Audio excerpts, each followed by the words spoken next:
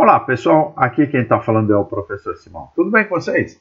Muito bom, sejam muito bem-vindos ao módulo 8, que trata de engrenagens cilíndricas de dentes retos, do nosso curso de cálculo e dimensionamento de elementos de máquinas.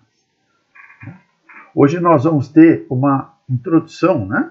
uma visão geral sobre engrenagens. Tá? Aí a partir da próxima aula a gente vai é, começar a explorar especificamente as engrenagens cilíndricas de dentes retos. Tá bom? Bom, como sempre, né? Tudo que é, eu falo eu escrevo aqui na lousa. Tá? Vocês vão utilizar a, a tela do computador ou do dispositivo móvel de vocês como se fosse o quadro negro. Tá bom? Vamos lá então? Hoje a aula é bem descritiva, nós não teremos é, cálculos, tá? Bom, afinal, o que são as engrenagens? Né? As engrenagens são rodas com dentes padronizados internos ou externos, tá? utilizados para transmitir movimento e força entre dois eixos. Tá? Elas são muitas vezes usadas quando se deseja variar o número de rotações ou o sentido da rotação de um eixo para o outro. A transmissão de movimento tem normalmente como finalidade aproveitar o máximo de potência gerada em trabalho mecânico útil. Por que, que a gente fala em trabalho mecânico útil? Né? Porque muitas vezes a energia é dispersada né, na forma de atrito né, uh, ou escorregamento, né, e, e, quando ocorre isso, parte da energia mecânica é, é perdida em, em calor tá? na forma de, de calor.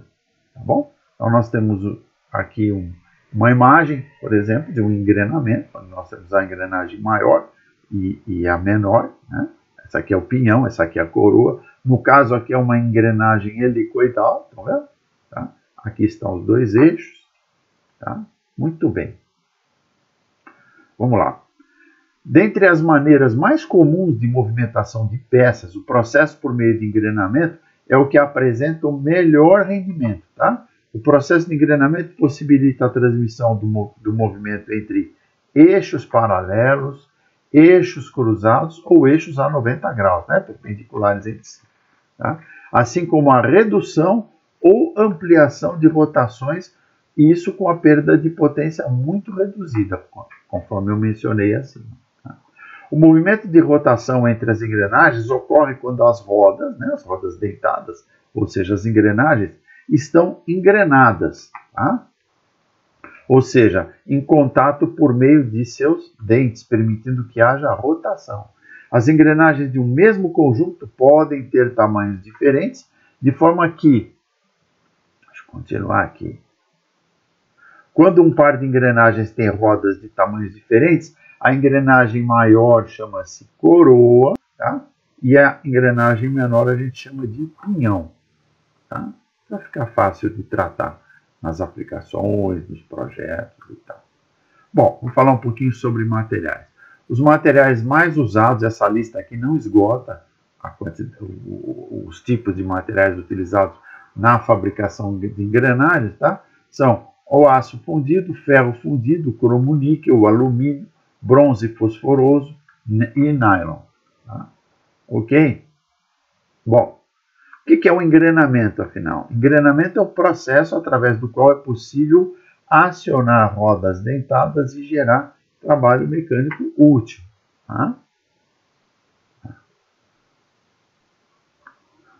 Aí nós temos o engrenamento indireto, que é aquele no qual a movimentação das rodas se realiza através de correntes, por exemplo, tá? conforme a figura uh, do desenho abaixo aqui, tá vendo? Ó? Tá vendo como as engrenagens é, são, estão conectadas através de correntes, olha, como na bicicleta, né? Tá? Na bicicleta a gente costuma chamar de, de roda dentada, né? Quando é muito fininha, a largura é muito pequena, né? Tá? Então vocês estão vendo aqui que nós temos o engrenamento indireto. Tá? As engrenagens não estão ligadas entre si, mas através de correntes. Tá? E o engrenamento direto é o processo no qual o movimento das rodas se realiza sem o auxílio de correntes, ou seja, as rodas se acoplam diretamente, obedecendo ao perfil do dentado, né, da dentadura de cada uma delas. Tá? Então aqui a gente tem, por exemplo, o engrenamento a 90 graus de duas engrenagens é, cônicas. Né? Então está aqui o pinhão né, e está aqui a coroa. Tá? Os eixos aqui, no caso, são perpendiculares entre si ou seguem eventualmente um determinado ângulo. Tá? Existe um sistema de transmissão composto pela coroa e pelo parafuso com rosca sem fim, muito utilizado em mecânica. Deixa eu mostrar aqui para vocês. Aqui, ó. Parafuso com rosca sem fim, tá aqui, ó. Deixa eu mudar um pouquinho a cor aqui para vocês verem melhor apagar aquilo que eu fiz e usar uma cor mais escura. Acho que agora dá para ver melhor aqui. Tá. Então,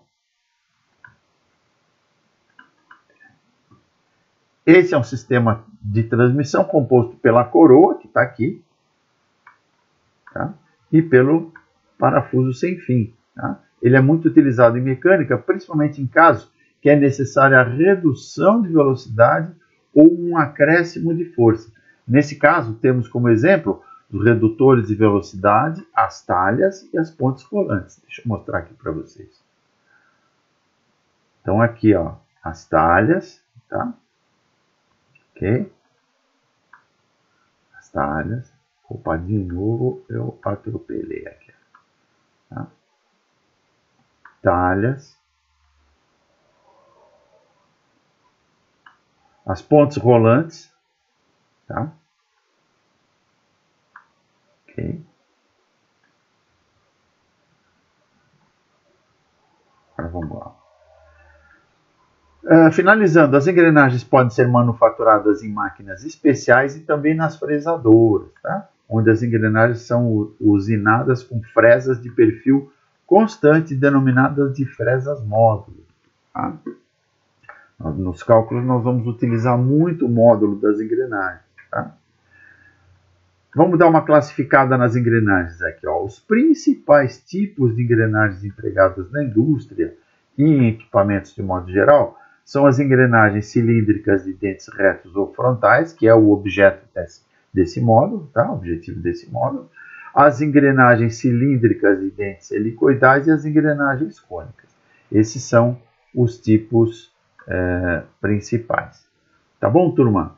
Então, pessoal, por enquanto é só, tá? Eu vou, uh, eu vou apresentar aulas descritivas como essa, tá? na introdução uh, e quando for didaticamente necessário. Tá? Existem algumas aulas que eventualmente não vão ter audiovisuais, tá? Então não se preocupem, às vezes né? embora apareça lá na descrição da aula, tá? que só tem o, o, o PDF, só tem o e-book, tá? porque eventualmente seriam aulas, aulas que só tem formulários, né? que são muito descritivas, que descrevem aspectos normativos ou tabelas. Né? Esse, esse, tipo de aula seria muito enfadonho ficar lendo para vocês. Tá? Então, quando não exigir maiores explicações, tá? for simplesmente como utilizar uma norma, tá? não haverá audiovisual. Tá bom, turma? Então é isso aí, pessoal. Por hoje é só e eu aguardo vocês aí na próxima aula. Próxima aula a gente já vai ver as engrenagens é, é, cilíndricas de dentes retos. Tá bom? Então, um grande abraço e até a próxima. Até lá.